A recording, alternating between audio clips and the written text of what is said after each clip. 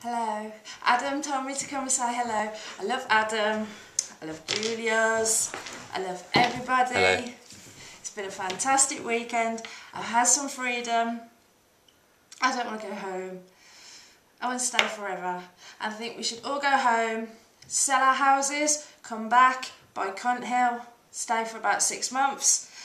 And when the money runs out, we just squat and have fun forever because this has been real good fun. And thank you very much. Good night.